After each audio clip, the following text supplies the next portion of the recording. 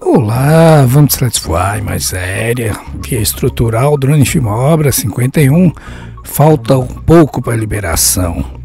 Já gostou? Inscreva-se. Se você é novo no canal ou antigo no canal, confere se você é inscrito, se não inscreva-se e dê aquele like, pois faz com que o YouTube indique nossos vídeos para mais espectadores. Estamos aqui na estrutural, próximo ao posto de gasolina Ipiranga. Vamos ver o que mudou essa semana em relação à semana passada. Bom, conforme vocês estão vendo aqui, a usina de concreto aqui do estrutural já foi desmontado, né?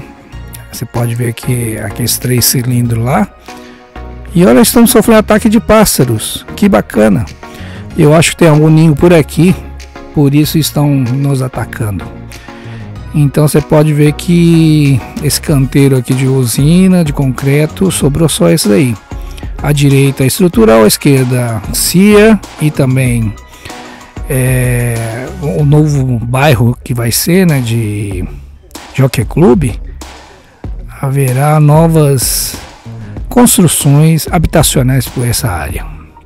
Indo esse caminho, a gente vai para o plano piloto Cruzeiro, Épia E não sei se vocês sabem, parece que tem um heliponto bem aqui. É novo, né? Outro, semana passada a gente fez filmagem que vimos decolagem de dois helicópteros por aqui. Indo esse caminho aqui, você vai para Vicente Pires, Taguatinga, Ceilândia, Braslândia. E esse aqui é o balão do CIA. Bom, dá para ver aqui, semana passada tá cheio de terra, né? E essa semana já espalharam elas aí. Então tá cada vez mais próximo.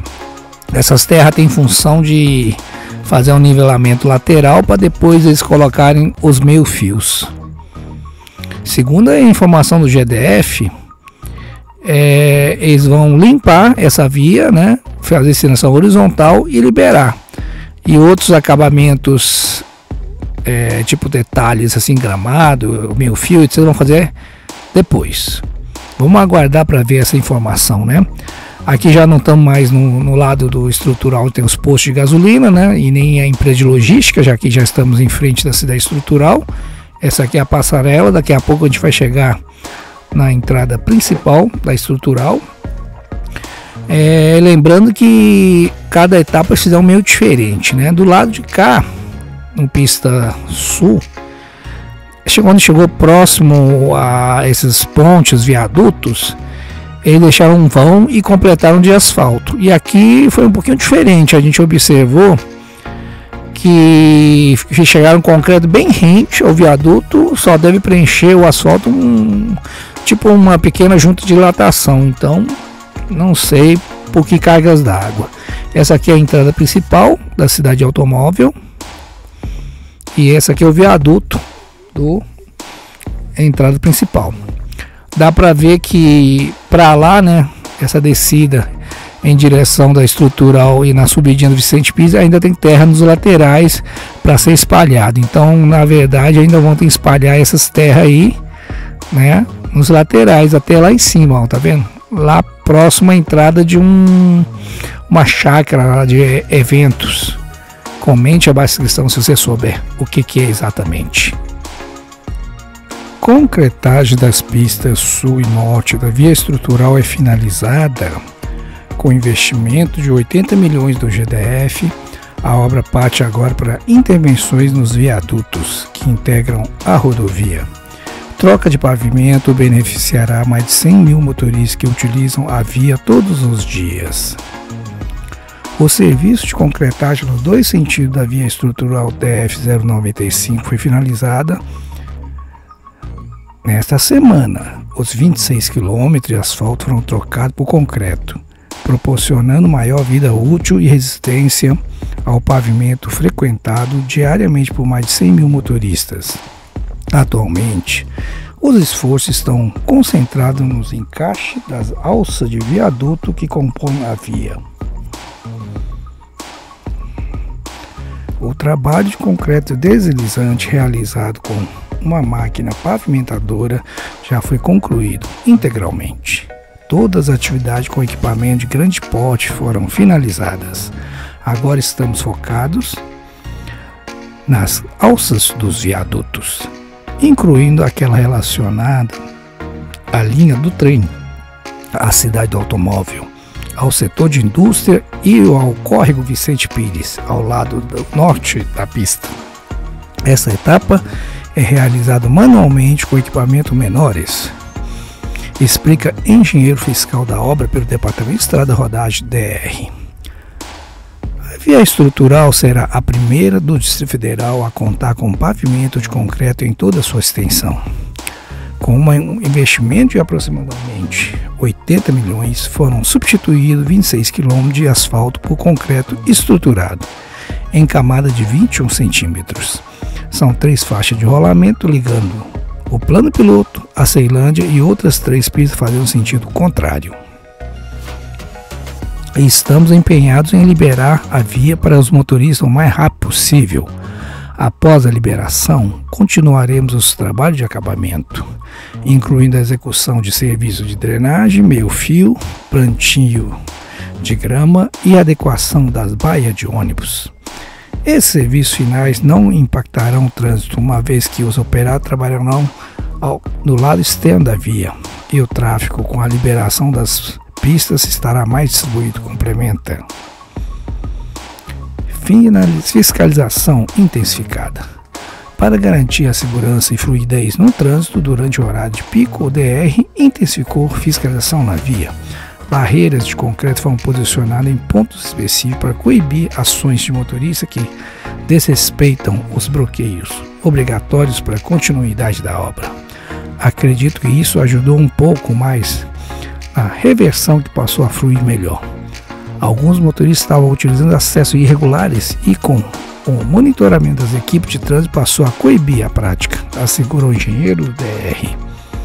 O DR reforça ainda que, no sentido da marginal, acompanha a reversão de fluxo tanto no período de manhã, entre 6 e 10 horas, e no sentido plano piloto, quanto no período da tarde, entre 17h30 a 19h45, no sentido Ceilândia. No segmento, após Rua 3C até setor de indústria, e os motoristas devem estar atentos à dinâmica do trânsito para evitar infrações e acidentes. Não deixe de assistir outros vídeos nossos como obra do Túnel Sem Taguatinga. Essa semana o foco está na construção da lagoa de contenção que fica entre Córrego do Cortado e Feira dos Importados. Avenida Hélio Prates. Fecharam os, os, os acessos secundários, né? De, da galeria de drenagem e tanto isso no, em frente ao Feira dos Goianos, quanto da Avenida Comercial para Pistão Norte. É, Recanto, o da Zenha Balão Periquito fizeram restauração. No Pistão Sul, em frente à Católica, ainda tem obras de restauração. A restauração do Guariroba concluíram já. É, viaduto Riacho Fundo 1 pavimentaram o, o pavimentante, desculpe, concretaram o viaduto de cima, agora está fazendo a armação de fio para concretar viaduto de baixo. Terceiro acesso de águas claras não tem muita novidade. A EPIG Sudoeste, que já foi inaugurado, ainda falta iluminação em um dos é, tesourinhas. SPM, setor policial, os trabalhos de CVT drenagem secundário em frente ao Complexo Polícia Federal já concluíram. E agora estão fazendo, espalhando algumas terras ali para concluir a parte de acabamento né, das obras, porque são duas empreiteiras, né? Uma empreiteira, é um, são dois consórcios, um consórcio responsável vem lá do SPM todo, né? E o outro consórcio lá da nova EPIG barra SPM, que está fazendo lá aquele viaduto, né? Fizeram via, concretaram um viaduto de cima, vão fazer outro viaduto próximo lá do tribunais. E também estão responsáveis pelas calçadas e as pavimentações de, desse nova fase da IPIG. A, o viaduto noroeste liberaram a passarela de água mineral, não sabemos se houve inauguração não. E também pavimentaram algumas partes da esse viaduto noroeste.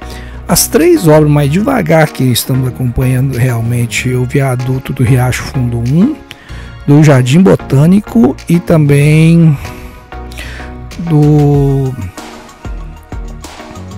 esse do Noroeste. Sobradinho não tem muita novidade, DF440 também não. A gente teve subvídeo desses aí que a gente filmou de carro. É... Itapuã Parque, no mês passado entregaram é, três condomínios ao total, né? Ah, descobri quatro condomínios, foi meia. Puxa, agora não me recordo. Mas é 67, 68, 63 e 65, exatamente, esses quatro condomínios. Justamente em frente à subestação na entrada do Itapuã. E a novidade está no viaduto Itapuã Paranoá. Foi liberado essa semana a parte de cima do viaduto e o viaduto de baixo falta eles é, concluir a pavimentação para poder liberar totalmente esse viaduto. Segundo informações, vai entregar esse viaduto agora em dezembro, mas já tem outras notícias do GDF informando que talvez somente em janeiro que é, haverá possibilidade de entregar esse viaduto Itapuã Paranoá. DF001, trecho 25 26 de Botânica, aquele trevo continua difícil para ônibus e caminhões. E viaduto Jardim Botânico fazendo escavação de trincheira, mas muito devagar, muito devagar mesmo. Como eu estava comentando antes, as obras mais devagar é do Jardim Botânico, do Riacho Fundo 1 e, e a obra do Noroeste. Se você é novo no canal ou antigo no canal, confere se está inscrito, se não inscreva-se e dê aquele like, pois faz com que o YouTube indique nossos vídeos para mais espectadores. Bom, aqui estamos agora atrás do Ceasa. Bom, essa parte aqui, é, esse, esse complemento de terra lateral já foi tudo colocado. E inclusive limparam a pista, para ver que a pista está bastante limpa, né? Talvez só falta mais umas lavagens. E deve colocar assinação horizontal para poder é, fazer a liberação dessa faixa aí, mas você pode ver que ainda tem um trechinho ali, ó, faltando concreto ali e uma é uma emenda bem ali, né? E provavelmente essa parte é, esse tipo uma junta de dilatação deve ser feito com um pavimento asfáltico mesmo. Olha a composição de trem aí, que bacana. Eles normalmente os trens trazem minério, é, gás, é, gasolina, combustível em geral. Essa área também haverá, é do Exército, né? Essa área haverá construção de uma área habitacional nova atrás do rodoviária. Aqui, essa parte toda pertence ao SEASA, quer dizer, onde tem é, Sans Club, é, Atacadão, é, Avan, Superdega, o açaí, atacadista, então todos esses estão dentro do, do, do SEASA. Então, essa aqui é a evolução da parte de finalização da estrutural. Obrigado por assistir nosso vídeo. Gratidão e até o próximo vídeo. Vamos ver se semana que vem a gente filma aí, caso não for liberado ainda. Mas se der e se coincidir, a gente vai filmar a inauguração por aí. Ó, oh, cuidado com o fio aí, para não enganchar o aeronave. Obrigado por assistir nosso vídeo, gratidão e até próximo vídeo.